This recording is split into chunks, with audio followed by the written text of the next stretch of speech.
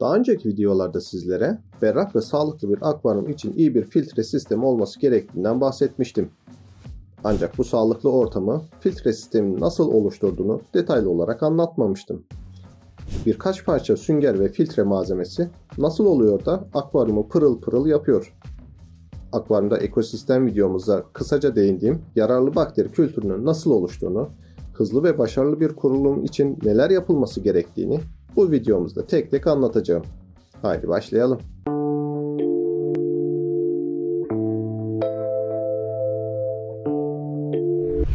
Hoş geldiniz.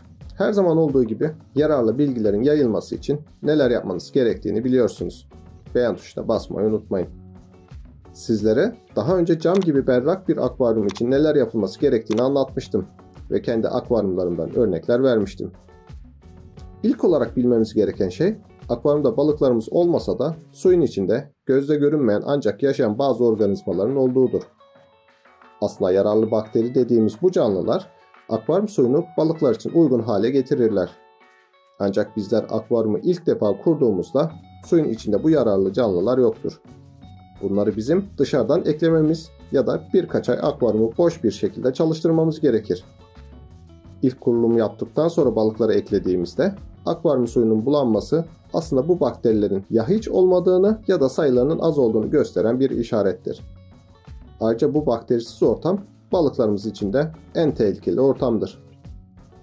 Akvaryum hobisindeki ustalarımızdan bir tanesi, akvaryum hobisi balık yetiştirme sanatı değildir. Bakteri yetiştirme sanatıdır derdi. Gerçekten de bu söz çok doğrudur. Çünkü bu yararlı bakterileri çoğaltamazsak akvaryumdan hastalıklar eksik olmayacaktır. İşte bu yararlı bakteriler bizim filtre sistemimize yerleşirler. Bu yüzden sizlere sürekli olarak iyi bir filtre sistemi oluşturmamız gerektiğini söylüyorum. Bahsetmiş olduğumuz bu yararlı bakteriler suyun içerisinde de bulunurlar. Ancak daha çok yerleşme çabasında oldukları için tutunma ihtiyacı içinde olurlar.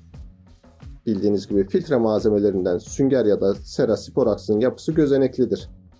Bu yararlı bakteriler de bu gözeneklere yerleşerek çoğalırlar. Akvaryumdaki bakterilerin çok büyük bir kısmı bu filtre bölümünde yer alır. O yüzden sağlıklı ve güzel bir akvaryum istiyorsak filtre sistemine özen göstermeliyiz. Geçenlerde izlediğim bir videoda bir nesneyi bilmek, onun sebebini bilmektir demişti. Şimdi biz de bu yararlı bakterilerin çalışma sisteminin nasıl olduğunu öğrenelim. Neyi, neden yaptığımızı bilirsek daha sağlıklı kurulumlar yapabiliriz. Akvaryumda 3 çeşit filtrasyon gerçekleşmektedir.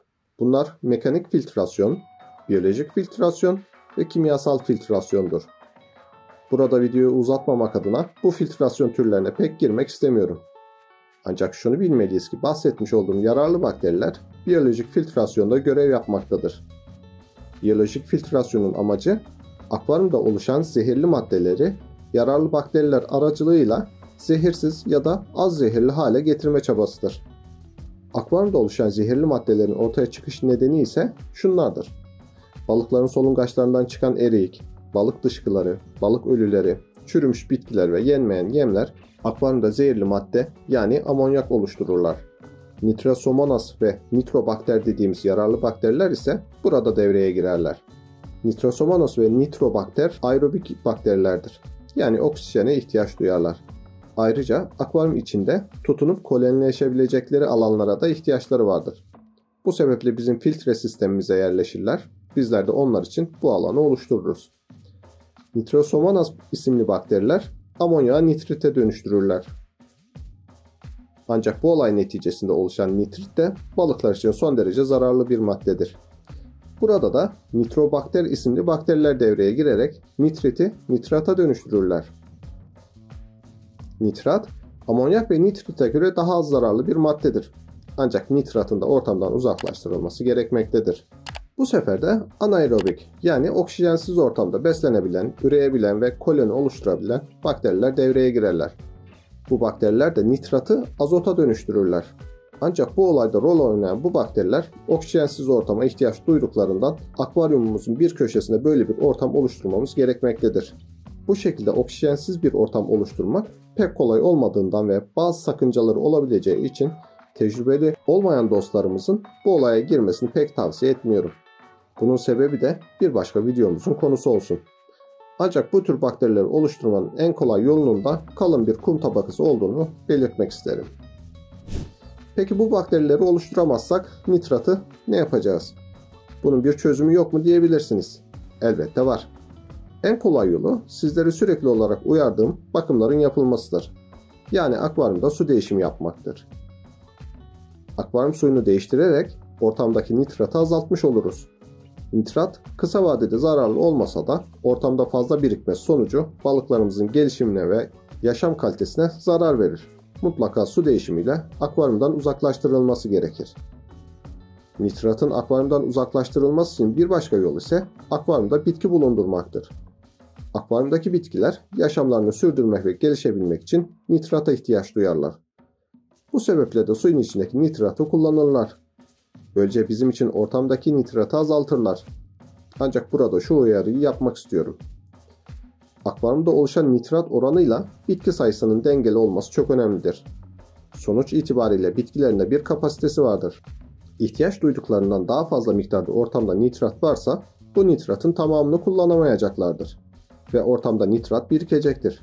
Bizler bu durumda da su değişimi yaparak bitkilerin kullanmadığı nitratı ortadan uzaklaştırabiliriz.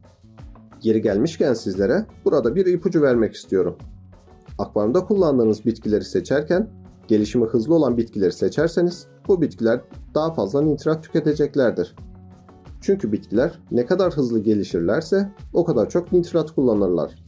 Bu sayede de ortamdaki nitrat daha hızlı bir şekilde yok edilmiş olur. Bitki seçimi yaparken bu durum aklınızda olursa sizlere faydalı olacaktır. Evet sevgili dostlar, bugün sizlere akvaryumdaki yararlı bakteri kültürünün çalışma sisteminden bahsettim. Azot döngüsü dediğimiz bu olay aslında sadece suda değil, bizim yaşadığımız ortamda da gerçekleşmektedir. Bizlerin farkında olmadığı bu sistem canlı hayatı için çok önemlidir. Sormak istediğiniz bir şey olursa aşağıya yorumlar kısmına yazabilirsiniz. Her zaman söylediğim gibi umarım bu videomuz da faydalı olmuştur. Videomuzu beğenmeyi ve kanalımıza abone olmayı unutmayın. Bilgi içeren bir başka videoda görüşmek üzere. Akvaryum kültüründen sevgiler, saygılar, zevkli hobiler.